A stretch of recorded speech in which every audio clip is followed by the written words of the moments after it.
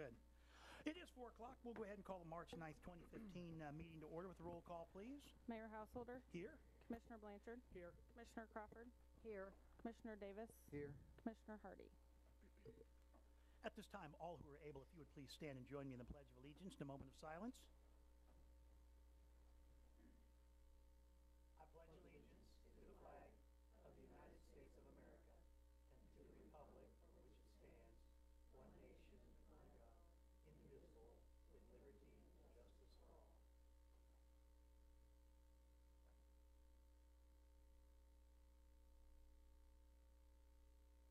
Thank you.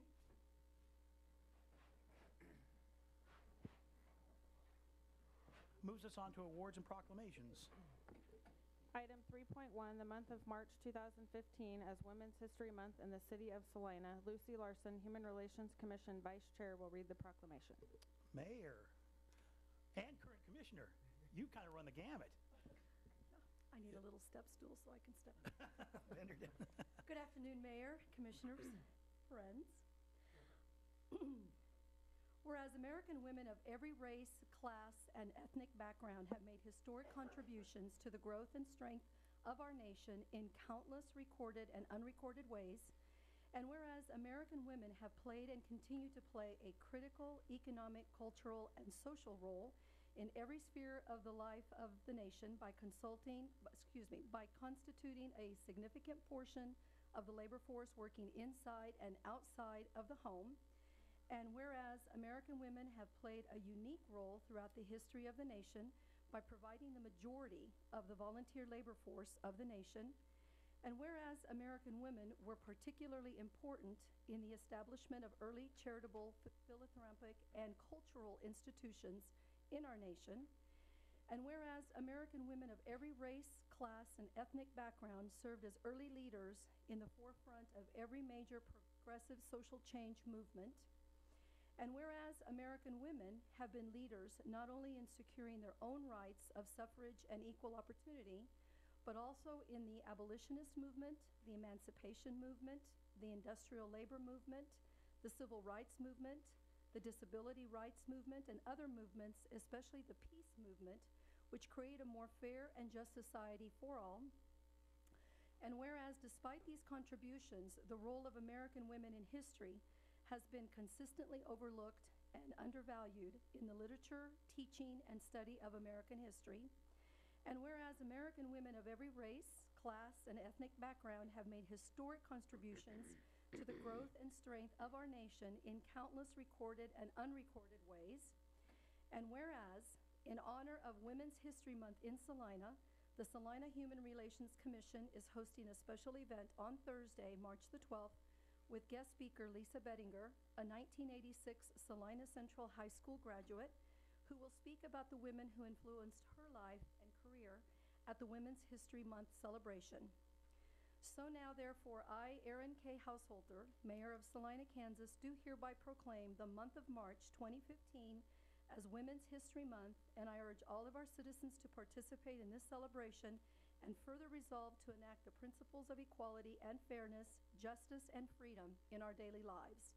In witness whereof I have hereunto set my hand and seal of the city of Salina, Kansas, this ninth day of March 2015, Aaron K. Householder, Mayor. Great. I know you mentioned the one uh, event here on Thursday, March 12th. Um, uh, Any other uh, events planned this week? Uh, Yes, we do, and we have uh, some handouts for the commissioners this afternoon. Uh, From noon to one, uh, don't see the date, but from noon to one, on Wednesday, Thursday, Wednesday, uh, K-State Salina Civic Luncheon at the College Center.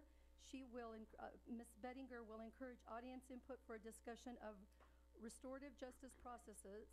Ann Zimmerman will describe the restorative justice efforts in Salina.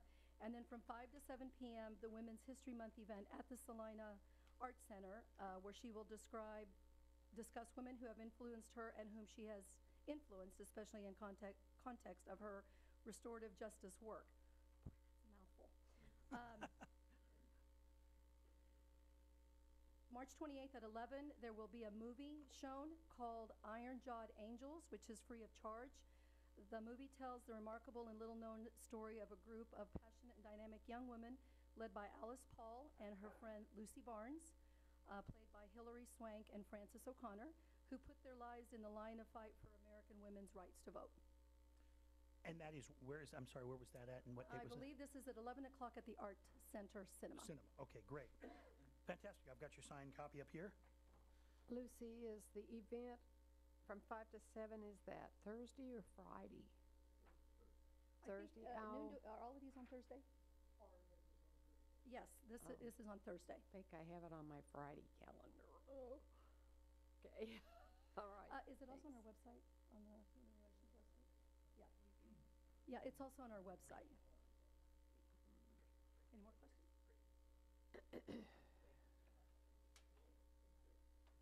And thanks also for your, uh, your work on the commission, the county commission, stepping in and doing that.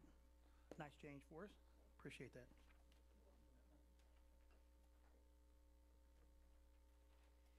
Okay, that'll take us to our citizens forum. This is an opportunity for anyone who has anything they'd like to bring before the commission that is not on today's agenda. Uh, This is the opportunity to do that. We simply ask that you give your name and address and try and keep it around five minutes at, at length, at maximum, if you will. No need to aspire to five minutes if you only have 30 seconds, but, uh, okay, seeing none, we'll move on to, uh, with nothing, no public hearings and items scheduled for certain times, we'll move on to the consent agenda. Item 6.1, approve the minutes of March 2nd, 2015. Item 6.2, resolution number 15-7185, appointing, appointing a member to the Board of Zoning Appeals.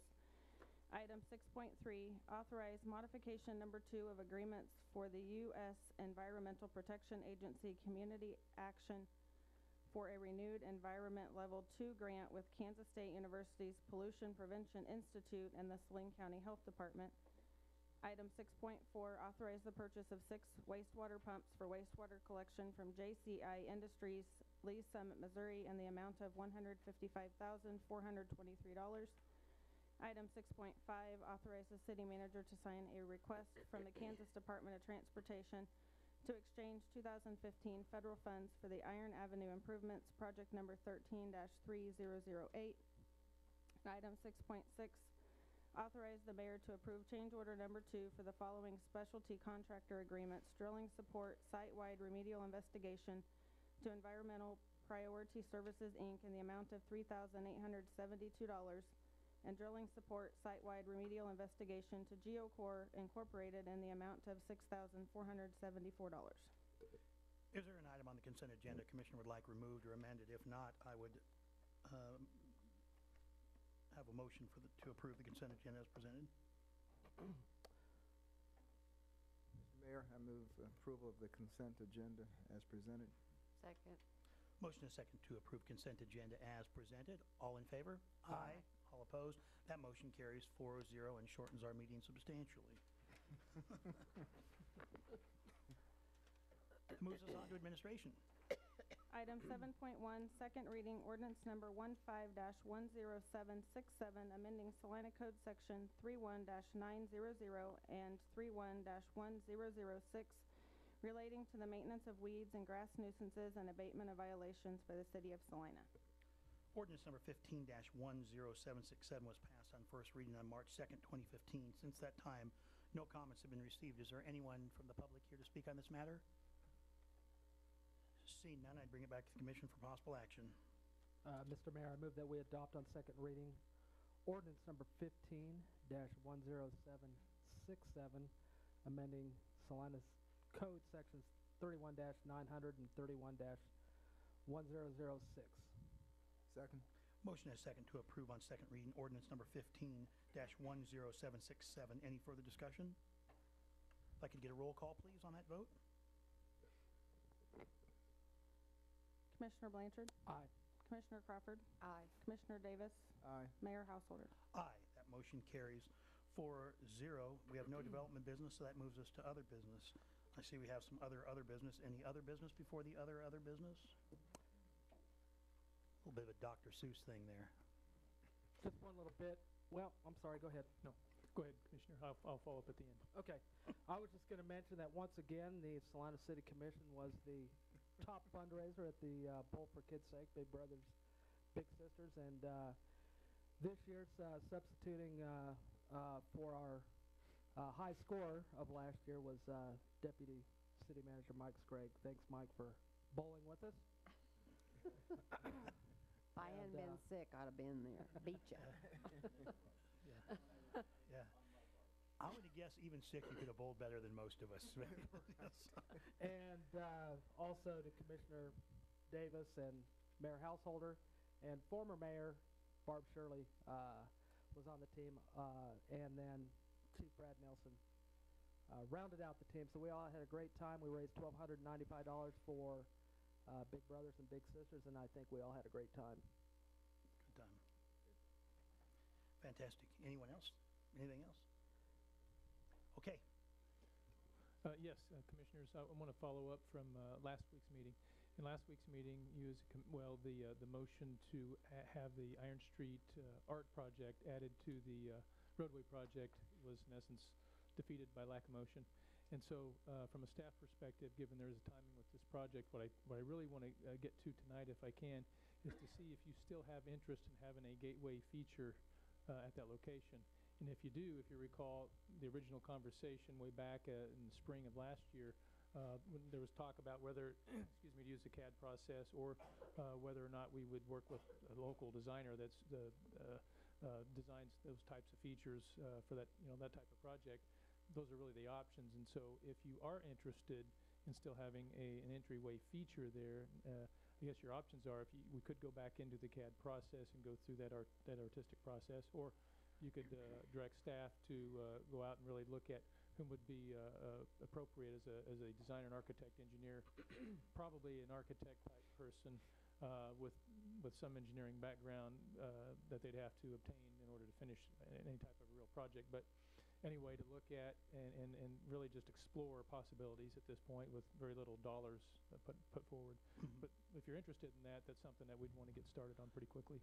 I, I think so. I think that was the original intention was to have a gateway. I've gotten quite a bit of feedback from the community who said, yeah, we really wanted to see some kind of gateway there. That just wasn't particularly what we had in mind either. So I think, at least from what I've heard, and the other commissioners, of course, can weigh in, but I did hear that there was uh, anticipation of that. I, I'd like to see if there's any ability to raise any potential private funds there, but I know we're under a little bit of a time crunch, and that may push us to a, to a bad time frame. But I would still personally have an interest in that. Yeah, I, and I would like to see incorporated into the, the gateway, even if it's a, a, a pillar type structure, Mhm. something that's, that's user interactive, so a person could find out what's going on downtown, uh, get information, uh, either have space for historical, uh, information, uh, but make it a fairly functional piece of, uh, I was gonna say furniture, but that's not the right word, but whatever you have outside taking up space, but, uh, Okay, Commissioner Crawford, are you interested in uh, any form of a gateway? Um, I probably would rather see us retain the original red painted, uh, concrete Stamp concrete? that we were talking about. Uh, I thought that was attractive, I think with the lighting and the new, um, street repair and, I mean, it's gonna be all new. I think the design will be really, really pretty there without any, anything else. That's my thought. Okay, Commissioner Blanchard? I'm in favor of it, just with a couple of things that I want to make sure we get right this time, and that is, is that uh, with the intention that uh, if it does follow sort of the comprehensive plans, look at uh, being able to have a gateway at uh, four, anywhere from four to five different locations in the downtown, and so that that it be a downtown gateway that can be replicated um, if that can be a part of the uh, request for proposal or, or whatever uh, on the project. And then also, I think it was uh, real important to all of us that, that it still remain uh, budget neutral. Yeah, I'm, I'll look at all of you, I think budget neutral, I've Mhm. presumed anyway, as well as being able to replicate if we can. Make sense? Does, is everybody on the same page with that? Right. It is. John, you mind me throwing you under the, No, we're good. okay. Just leave it All right, there. we'll leave it there. Maybe later. Okay. The other question I have as well is, uh, would you like staff in, in contemplating the process that was utilized and some of the concerns along the way, would you like staff to schedule a study session to actually go through the CAD policy and give you an opportunity to read it in more detail, discuss it, and then uh, from that discussion, determine if you feel there are any uh, tweaks that would need to be made from your Sure. perspective. Sure. Everybody comfortable with that? Yeah. This is separate from the issue of the gateway to Yes. downtown. Yeah, it'd be completely separate, just simply looking at the policy approach. And I'd um, also steps. like to know how many people, uh, you know, are actually involved in that process. and- I mean, is there three or four, or is there thirteen or fourteen, or, you know? Okay. How many people are actually help make that decision? I mean, we appreciate the work to do. I mean, they've done some nice jobs on some other things, Oh, but sure. yeah, this particular one just Mhm. wasn't quite where we were, where we were at. Just didn't fit the neighborhood. Okay, very good. That's all I have. Thank you. Okay, Before I make this motion, if I wanted to add, um, the motion I'm gonna make here is for real estate and personal, but if I wanna do it also for legal, what, uh, would I just add, add for legal? Yeah, you'd have, the uh, clerk should have the motion Okay. language for you there, and you can throw that in as well.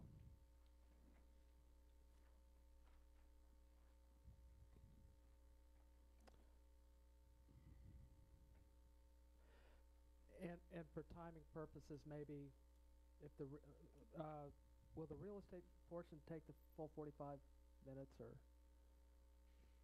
I don't think it will take quite that long. okay, let's, let's try and do this, uh, in forty-five total then.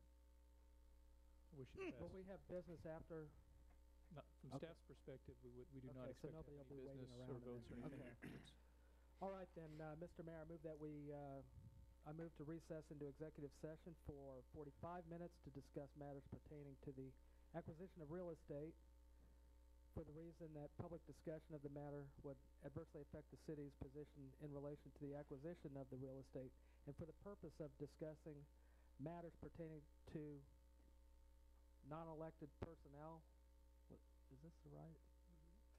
Okay for the reason that public discussion of the matter would violate the privacy rights of the non-elected personnel involved. Okay. Um, and additionally to, uh, for, uh, and also to discuss with legal counsel matters subject to the attorney-client pri- privilege for the reason that public discussion of those matters would waive the privilege and adversely affect the city's interest in the matters and reconvene at uh, 5:05 p.m. motion and a second to move into executive session for forty-five minutes and, uh, reacquire this meeting at five oh five. Any discussion? All in favor? Aye. All opposed? We're in executive session. Okay, it does say personnel on there. I missed the part at the top. No, no, no.